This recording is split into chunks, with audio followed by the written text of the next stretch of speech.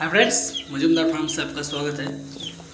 तो यहाँ पे आप देख पा रहे पोल्ट्री का बच्चा ब्रूडिंग हो रहा है। ये ब्रूडिंग सिस्टम कैसे होता है, ये हम आपको बता देंगे। तो इससे पहले अगर आप हमारे चैनल पे नए हुए तो सब्सक्राइब कीजिए। वीडियो अगर अच्छे लगे तो लाइक करना और कमेंट पे अपना राय लिखना। वीडियो अच्छे लगे तो शेयर करना। तो यहाँ पे दिख रहा है आपको काफ़ी चूजा ब्रूडिंग हो रहा है यहाँ पे। कम से कम चार बूडर है। बूडर मतलब जो जगह पे बच्चा रहता है गोल करके रखा हो गया है यहाँ पे।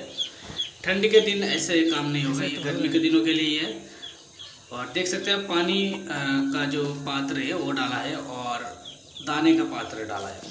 इसका बीच बीच आपको दिखेगा कि पोते में दाना डाला हुआ है। ये क्यों डाला है ये भी हम बताएँगे। पानी का पात्र यहाँ पे डाला गया है और दाने का पात्र डाला गया है। यहाँ पे दाना देना है पानी देना है। पानी में जो भी मेडिसिन यूज़ होता है वो सब पानी में जाएगी। और दाना जो है जो देखिए फीडर में डाला हुआ है और नीचे भी पोते में डाला हुआ है।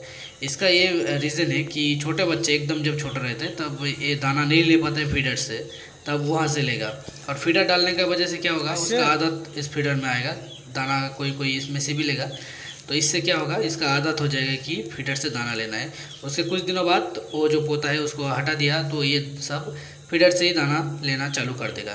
पानी ट्रिंकर से ले लेगा पहले दिन से ही, कोई बात नहीं है। मगर दाना जो है, वो पहले आपको नीचे देना है और उसके बाद ऊपर देना है। पात्र में देना है, यानी फीडर में देना है।